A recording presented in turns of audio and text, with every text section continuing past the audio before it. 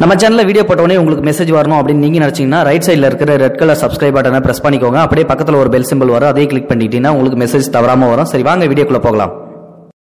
முன்னாடி ஒரு காலத்தில் ஜப்பான் நாட்டில் ஒரு சட்டம் ஒன்று இருந்துகிட்டு இருக்குது. அந்த சட்டம் என்ன அப்படின்னா வயசானவங்க நடவடியாக இருக்கிற வரைக்கும் அவங்கவுங்களோட குடும்பத்தில் இருக்கலாம். எப்போ அவங்களால வயசானவங்களாம் நடக்க முடியல வேலை செய்ய முடியல படுத்த படுக்கே ஆவறாங்களோ அதுக்கப்புறம் அந்த நாட்டு மக்கள் அந்த வீட்டில் யார் அந்த மாதிரி படுத்தாலும் சரி வயதானவங்களை கொண்டு போயிட்டு மலைப்பகுதியில் வந்து விட்டுட்டு வந்துடணும் இப்படி அந்த மன்னன் வந்து அந்த சட்டத்தை விதிச்சிருக்காங்க. எதுக்காக அந்த மாதிரி சட்டம் விதிச்சாங்க அப்படின்னா இதனால் நாட்டு மக்கள் வந்து வயதானவங்களை பராமரிக்க வேண்டிய சுமை வந்து குறையும். அவங்கவுங்க அவங்கவுங்களோட வேலைகளை பார்க்கலாம். மேற்கொண்டு வளர்ச்சி அடையலாம் நாட்டு வளர்ச்சி அதிகமாக இருக்கும் அப்படின்றதுக்காக இந்த வயசானவங்களை கொண்டு போயிட்டு மலைப்பகுதியில் விட்டுட்டு வந்துடணும் அப்படி விடலை அப்படின்னா அதுக்கு அரசர் அரசர்கிட்டருந்து தண்டனை கிடைக்கும் அப்படின்றது அந்த நாட்டு விதி.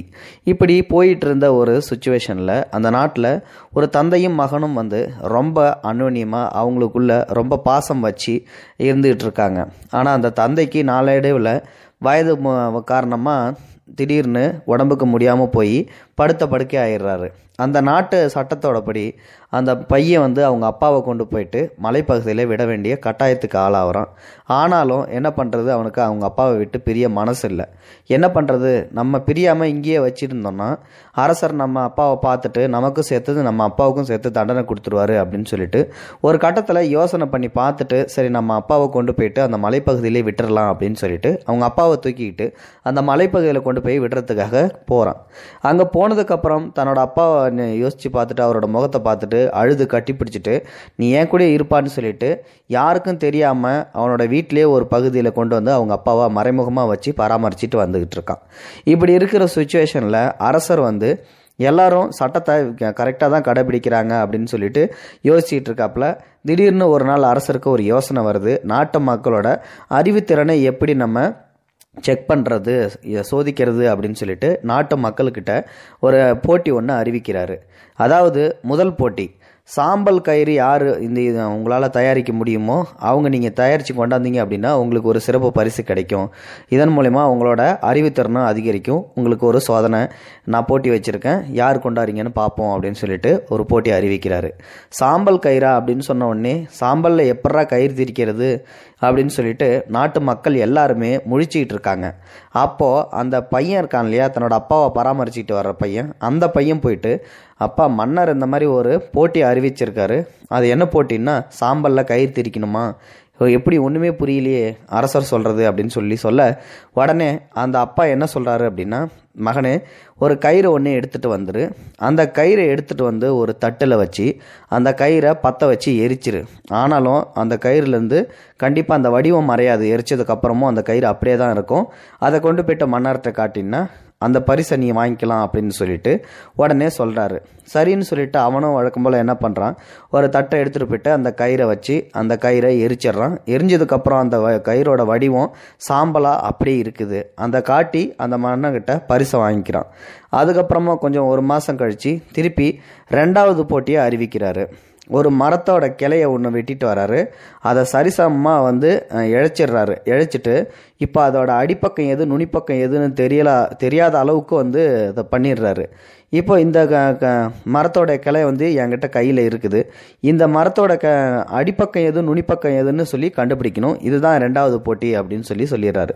மறுபடியும் மக்கள் எல்லாருமே முழிக்க ஆரம்பிச்சிடுறாங்க. இதே பிற கண்டுபிடிக்கிறது அப்படின்னு சொல்லிட்டு. ஏன்னா பார்க்கறதுக்கு ரெண்டுமே ஒரே மாதிரி தான் இருக்குது. அடிப்பக்கமும் நுனிப்பக்கமும். மறுபடியும் வந்து அந்த பையன் என்ன பண்ணுறான் தன்னோட அப்பாவுக்கிட்டே போயிட்டு மறைமுகமாக போயிட்டு கேட்குறான் அப்பா அப்போ அரசர் ரெண்டாவது போட்டி அறிவிச்சிருக்காரு அப்படின்னு சொல்லிட்டு. உடனே அதுக்கு இன்னொரு வந்து ஐடியா கொடுக்குறாரு. இந்த அந்த கொம்பு இருக்கு இல்லையா அந்த மரக்கொம்பு அதை தூக்கி கொண்டு போயிட்டு தண்ணியில் போடு. தண்ணியில் போடும்போது அடிப்பகுதி வெயிட்டாக இருக்கும். அதனால் அந்த பகுதி கீழே போயிடும். நுனிப்பகுதி கொஞ்சம் வெயிட்டு கம்மியாக இருக்கும். அந்த பகுதி மேலே வந்துடும் அப்போது நீ அரசங்கிட்ட சொல்லி அந்த பரிசை வாங்கிக்கலாம் அப்படின்னு சொல்லிட்டு உடனே வந்து சொல்கிறாப்புல அந்த பையனும் அதே மாதிரியே கொண்டு போயிட்டு அரசங்கிட்ட நான் அந்த கே இதுக்கு வந்து படிதல் சொல்கிறேன்னு சொல்லிட்டு அந்த கொம்பை கொண்டாங்கன்னு சொல்லிட்டு தண்ணியில் தூக்கி போடுறான். அதே மாதிரியே வந்து அந்த அடிப்பகுதி வெயிட்டாக இருக்கிறதால கீழே போயிடுது நுனிப்பகுதி மேலே வந்துடுது இதுதான் அடிப்பகுதி இதுதான் நுனிப்பகுதின்னு சொல்லிட்டு சரியாக கண்டுபிடிச்சிட்டான். மூணாவது கண்டிப்பாக உங்களால் யாராலையுமே கண்டுபிடிக்க யோசிக்க முடியாது. அப்படி ஒரு அற்புதமான கேள்வி அப்படின்னு சொல்லிட்டு அரசன் மூணாவது கடைசியாக ஒன்று சொல்கிறான் அது என்ன அப்படின்னா கையால் பொருளால் எந்த ஒரு இதாலையும் வந்து தட்டக்கூடாது. ஆனால் தட்டாமலே வந்து ஓசை வரணும் ஒளி வரணும் அப்படின்னு சொல்லிட்டு சொல்கிறாப்புல அந்த அரசன். அப்படி ஒரு மேளத்தை கொண்டு வாங்க அப்படின்னு சொல்லிட்டு. இப்போ எல்லாருக்கும் வழக்கம் போல் மக்கள்லாம் குழம்ப ஆரம்பிச்சிட்டாங்க. கையும் தட்டக்கூடாது எதுவுமே பண்ணக்கூடாது. எப்படா மோள சவுண்டு வரும்? எப்படி வந்து வர வைக்கிறது அப்படின்னு சொல்லிட்டு இவங்க எல்லாருமே முழிச்சிட்டு இருக்காங்க. வழக்கம் போல் அவங்களும் முழிச்சிட்டு இருக்க இவனுக்கு கண்டிப்பாக இந்த கேள்விக்கு நம்ம அப்பாவுக்கு பதிலே தெரியாது அப்படின்னு சொல்லிட்டு சோர்ந்து போயிட்டு அவங்க அப்பா கிட்ட அப்பா கடைசியாக அரசன் வந்து இன்னொரு போ- போட்டியை அறிவிச்சிருக்காரு. தட்டவே கூடாதான் ஆனால் ஒலி வரணும் ஓசை வரணும் சவுண்டு வரணும்னு சொல்லி சொல்கிறாரு அந்த மாதிரி மோளத்தை நான் எங்கேருந்துப்பா கண்டுபிடிக்கிறது? அப்படின்னு சொல்லி சொல்ல இதெல்லாம் ஒரு பிரச்சனையா? இதுதான் வந்து நான் சொல்கிற ஐடியா மூலமா கேளு அப்படின்னு சொல்லிட்டு தோலை வந்து ஒலி எழுப்புற தோலை ஒன்று எடுத்துக்க. தோலை எடுத்து வச்சுக்கிட்டு மலைப்பகுதிக்கு போ. கண்டிப்பாக அங்கே பெரிய பெரிய தேனி இருக்கும். அந்த தேனி கூட்டில் இருக்கிற ஈய எல்லாத்தையும் பிடிச்சி கொண்டாந்து அந்த தோல் உள்ளே போட்டு அதை தச்சிடு. அதுக்கப்புறம் அதை பறக்க விட்டா அப்படின்னா கண்டிப்பாக அது ஒலி எழுப்பும் அப்படின்னு சொல்லிட்டு அந்த ஐடியாவை கொடுக்கும் அதே மாதிரியே தோல் ஒன்று எடுத்துக்கிட்டு ஏனி தேனீக்களை பிடிச்சி அது உள்ளே போட்டு அதில் இருந்த அங்கே கிட்ட அசையாமல் அப்படியே கொண்டு போயிட்டு நம்ம அரசங்கிட்ட போன உடனே அதை அசைச்சு விட்டுறாப்புல. ஸோ இப்போ அவன் கையும் வைக்கல ஒன்றும் வைக்கல அரசன். ஆனாலே வந்து அந்த ஈய அலமோதுறதுல சத்தம் அது பட்டுக்கும் பயங்கரமாக கேட்குது இப்போ இந்த மூணு கேள்விக்குமே வந்து சரியான பதில் கொடுத்த உடனே அரசனுக்கு வந்து ஒரு சந்தேகம் வந்துருச்சு. நாட்டு மக்கள் இத்தனை பேரும் வந்து முழிச்சுக்கிட்டு இருக்காங்க. ஆனால் உனக்கு மட்டும் எப்படி வந்து இவ்வளோ கேள்வி கேட்டதுலேயும் உனக்கு வந்து பதில் கிடைச்சிது அப்படின்னு சொல்லிட்டு வந்து கேட்கும்போது அதுக்கு அந்த இளைஞன் வந்து சொல்கிறான் எனக்கு வந்து இந்த அளவுக்கு வந்து அனுபவமே கிடையாது. எல்லாத்துக்குமே எங்கள் அப்பா தான் வந்து சொன்னார் அந்த கேள்விக்கு வந்து அப்படின்னு சொல்லிட்டு வந்து சொல்கிறாப்புல உடனே வந்து அந்த இளைஞனோட பதில் வந்து அரசனை வந்து ரொம்ப சந்தோஷப்பட வச்சிருச்சு. அவங்க அப்பாவை வந்து மறைமுகமாக வச்சு இந்த கேள்வி எல்லாத்துக்கும் பதில் சொல்லியிருக்கான் அப்படின்னு சொல்லிட்டு. உடனே சிக்கலான பிரச்சனைகளை தீர்வு செய்ய வயதானவர்களின் அனுபவம் உதவியாக இருக்கும் என்பதை அரசனும் உணர்ந்து கொண்டான்.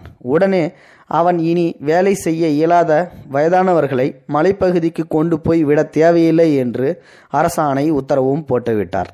அது முதல் வயதானவர்கள் தங்கள் கடைசி காலத்தை பிள்ளைகளுடன் மகிழ்ச்சியாக கழித்தனர்.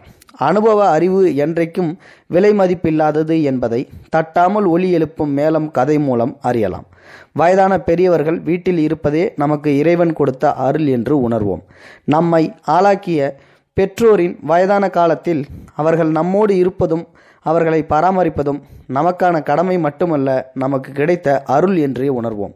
தொப்புள் கொடியில் இருந்தே தொடங்கிய தாயும் மார்பிலும் தோளிலும் துமைக்க சுமந்திய சுமந்து கால் தேய உழைத்து நம்மை உருவாக்கிய தந்தையும் நம்மிடம் நன்றியை எதிர்பார்க்கவில்லை என்றாலும் என்னென்றி கொண்டார்க்கும் உய்வுண்டாம் முய்வில்லை செய் நன்றி கொன்ற மகர்க்கு என்பதை நினைவில் வைத்துக்கொள்வோம் கண்டிப்பாக இது ஒரு அருமையான ஸ்டோரி இந்த ஸ்டோரியை கேட்டதுக்கப்புறம் வயதானவர்களை வீட்டை விட்டு துரத்தக்கூடாது கடைசி காலத்தில் பராமரிக்கணும் அப்படின்னு எல்லோருக்கும் எண்ணம் தோன்றி இருக்கும்னு நினைக்கிறேன்.